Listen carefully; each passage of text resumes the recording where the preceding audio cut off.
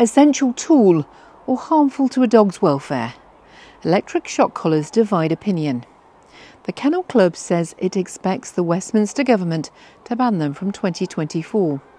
The Welsh Government banned them in 2010, and the Scottish Government issued guidance on not using them, which had no legal standing.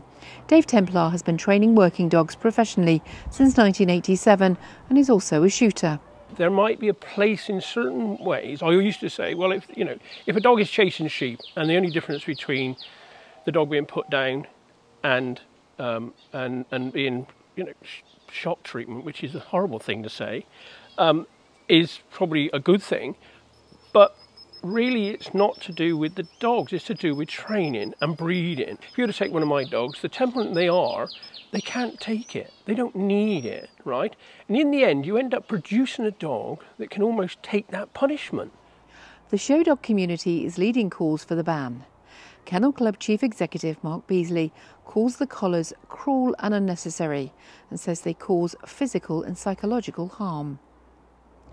The 2010 Welsh ban on electric collars has its critics. In 2022, the National Farmers Union Mutual Insurance released figures claiming that Welsh farmers lost more than £300,000 from dog attacks during the previous year.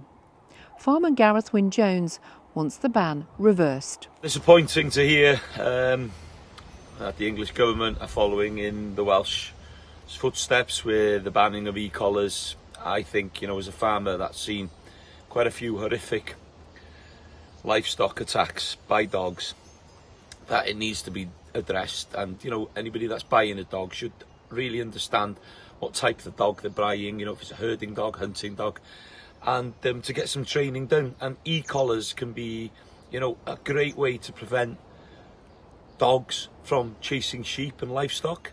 And if we can get you know there's a lot of professional trainers that have said this but government aren't listening and the numbers of livestock um, attacks are still going up Steve Moran has been training dogs for more than 30 years. He works with dogs from all over the country at his kennels in Cheshire. Steve, who runs Stublach Training, says electric collars are no substitute for good training. The reason why people are using electric collar is because the fundamentals have not been put into the dog.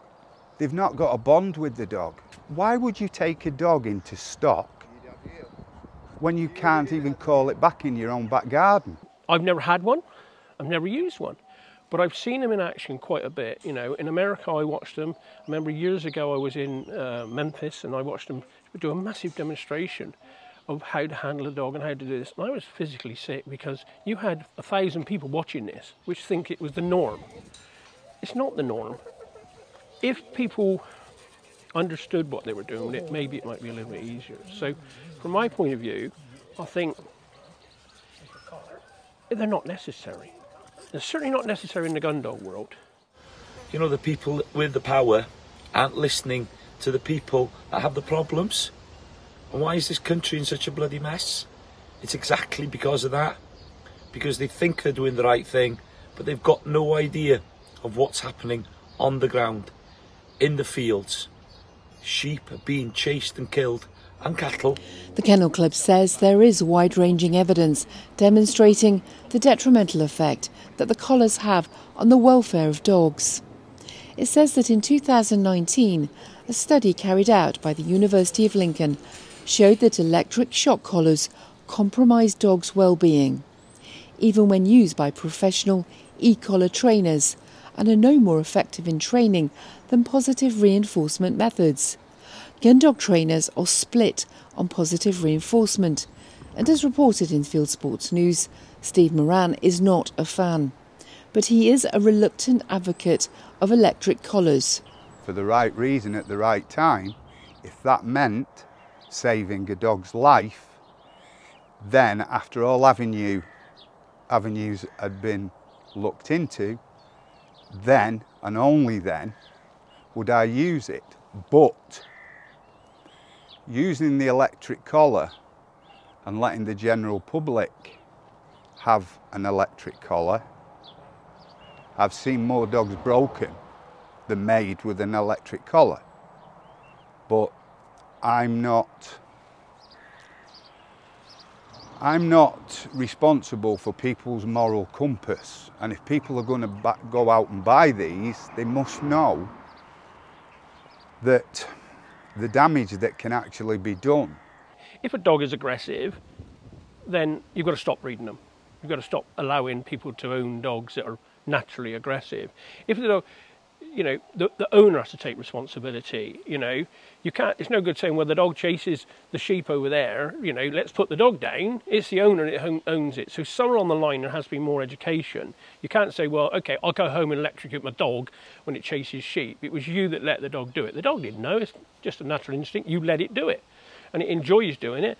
So it's great fun, and I'll continue doing it. It's like training it to sit. As far as the dog's concerned, you train me to chase sheep. Why shouldn't I chase sheep? That's what you told me to do. So it's a very, very difficult one because if you were, if you filtered it in, in the sense you said, right, okay, you have five years to to breed dogs that didn't need it, then then you could say, yeah, okay, well then at that two, three years or whatever it's going to be, we now this is the law. You can't use them anymore. If you haven't used it up to this date, stop using it. And these e-collars can help so much in prevention, and it would save thousands of sheep's lives any dog that's chasing sheep, you know, there's, there's a possibility the farmer's going to go out and shoot it. And that's the last thing farmers want to do. The rumour in Westminster is that the government is listening to the show dog community at the Kennel Club and ignoring the advice of working dog trainers.